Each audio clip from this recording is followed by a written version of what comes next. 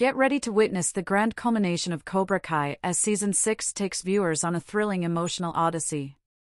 This long awaited conclusion premieres on Netflix in three parts, with the opening act kicking off on July 18, 2024. The second act follows on November 28, 2024, with the final act scheduled for release sometime in 2025.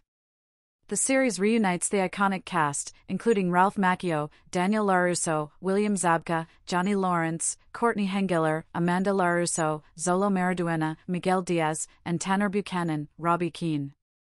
The season continues to explore the long simmering conflict between Johnny and Daniel, rekindled after their epic showdown in the original Karate Kid film.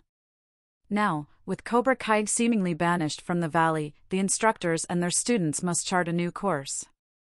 Will they participate in the Sekai Taikai, the pinnacle of karate competition? Rumors circulate regarding potential appearances from characters introduced in the 2010 Karate Kid remake, further fueling fan anticipation.